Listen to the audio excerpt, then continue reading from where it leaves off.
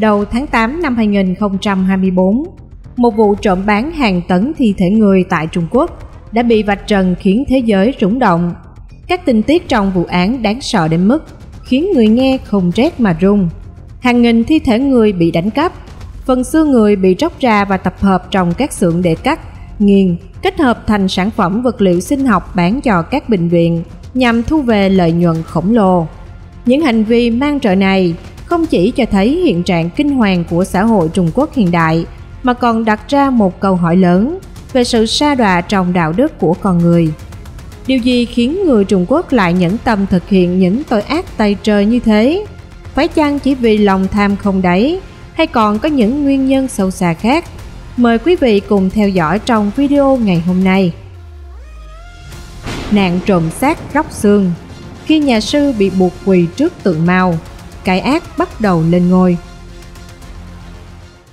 Theo hồ sơ vụ án, từ tháng 1 năm 2015 đến tháng 7 năm 2023, công ty trách nhiệm hữu hạn vật liệu sinh học Ostelrad, Sơn Tây, Trung Quốc đã hợp tác với các nhà tàng lễ tại nhiều tỉnh của nước này gồm Tứ Xuyên, Quảng Tây, Vân Nam, Sơn Đông và những nơi khác thu mua trái phép 4.000 thi thể người chết không bệnh tật, sau đó phần xác, cắt thịt lấy xương một cách vô nhân đạo.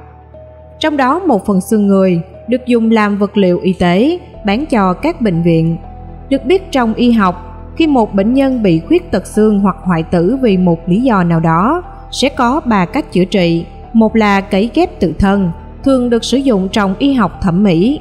Hai là sử dụng vật liệu hóa chất tổng hợp và ba là sử dụng xương giả của người khác. Tính đến thời điểm vụ việc bị phanh phui, công ty Ostelrad đã kiếm được 380 triệu nhân dân tệ, tức khoảng 1.328 tỷ Việt Nam đồng, nhờ hoạt động bán vật liệu y tế làm từ xương người trên. Nhưng không chỉ vậy, khi bị phát hiện, Ostelrad vẫn còn một lượng lớn nguyên liệu xương người trong kho, với 18 tấn bán thành phẩm và hơn 34.000 thành phẩm. Hiện 75 nghi phạm và hàng chục nhà tăng lễ liên quan vụ án đã được xác định, trong đó có cả các nhà khoa học, bác sĩ và doanh nhân. Kẻ cầm đầu vụ án là Lý Bảo Hưng 69 tuổi, tổng giám đốc công ty Ostelrad Sơn Tây. Đáng chú ý, các phương tiện truyền thông tiết lộ rằng Lý Bảo Hưng không chỉ là giáo sư nghiên cứu khoa học cấp cao, kiêm giảng viên hướng dẫn tiến sĩ tại trường Y, Đại học Tô Châu năm 1978 về X-quang, mà còn là một trong những đại diện xuất sắc của ngành khoa học và công nghệ quốc phòng tỉnh Sơn Tây, được vinh danh là lao động kiểu mẫu quốc gia Trung Quốc. Không chỉ vậy, tiền thân của công ty Ostelrad cũng là doanh nghiệp nhà nước.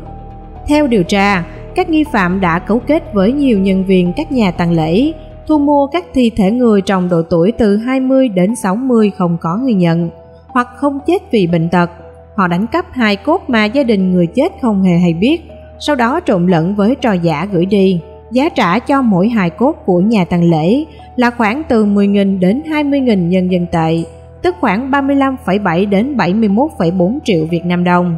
Sau đó các hài cốt này sẽ được tập hợp trong các xưởng để cắt, nghiền và kết hợp thành nhiều sản phẩm vật liệu sinh học khác nhau.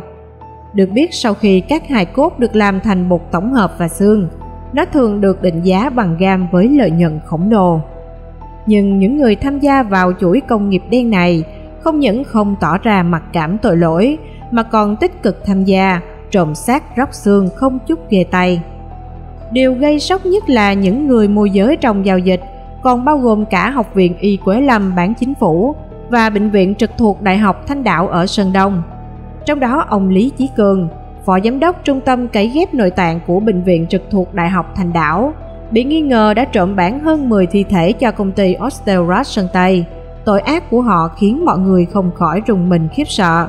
Nhưng sau khi vụ việc bị vạch trần, bác sĩ Lý Chí Cường này vẫn không bị đưa vào danh sách truy tố. Ông ta ngay lập tức nộp đơn xin nghỉ hưu sớm.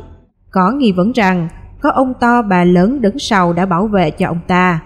Quả thật không ai có thể ngờ được những giáo sư bác sĩ danh tiếng là lao động kiểu mẫu quốc gia Trung Quốc lại tham gia vào ngành công nghiệp đen trộm cắp và bán xác trên. Có vẻ trình độ học vấn và trình độ đạo đức của họ không chút tỷ lệ thuận với nhau. Nhưng đồng thời nhiều người cũng cho rằng dưới sự cai trị của đảng Cộng sản Trung Quốc, đạo đức con người đã sa sút đến mức không thể tưởng tượng được. Không chỉ hệ thống dịch vụ công, mà khu vực tư nhân cũng hình thành mô hình gây tổn hại lẫn nhau ở giai cấp đáy của xã hội.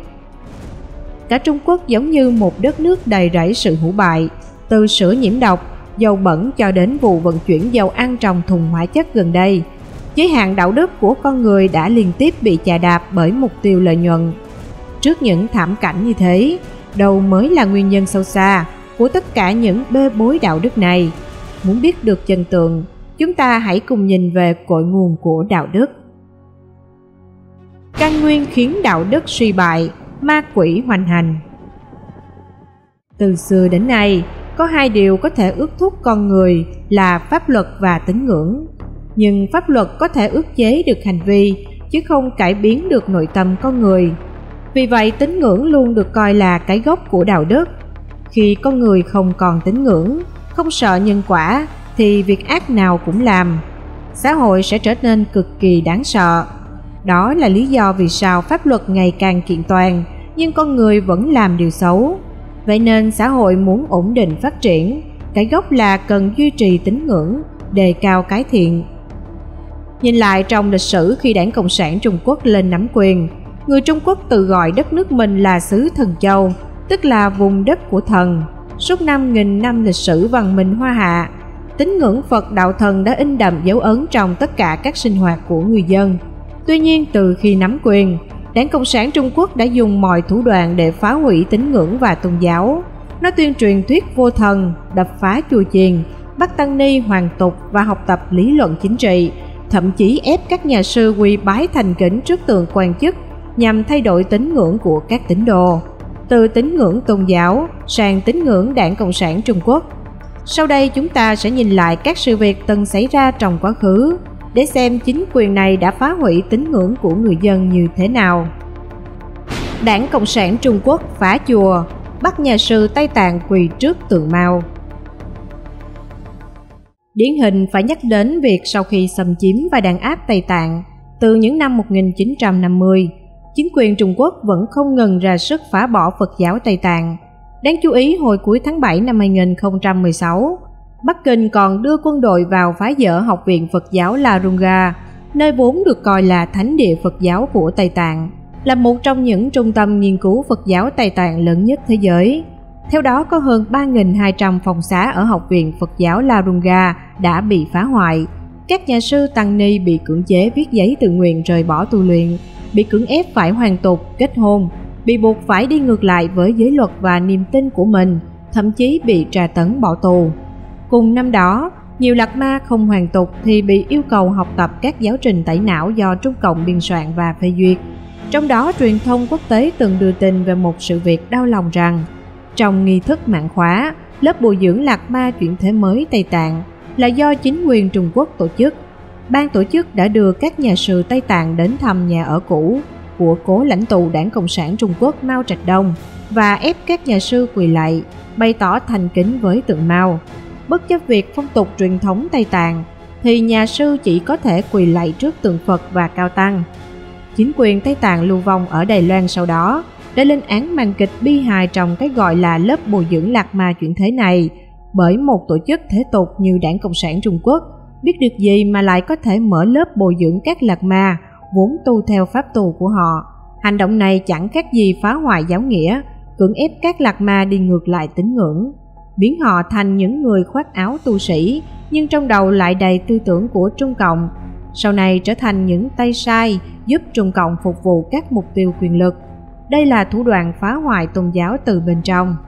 Nhưng chưa dừng lại, Đảng Cộng sản Trung Quốc còn tự phong thánh cho các lãnh tụ của mình bằng cách buộc người dân Tây Tạng phải thờ các nhà lãnh đạo Trung Cộng, trong khi họ chỉ thờ phượng các vị Phật Cụ thể, ông Gyatson, đại diện của chính phủ Trung ương Tây Tạng tại Đài Loan cho biết, bắt đầu từ khoảng năm 2011 hoặc 2012, chính quyền này đã ra lệnh cho tất cả các chùa phải treo chân dung của các lãnh đạo đảng Cộng sản Trung Quốc.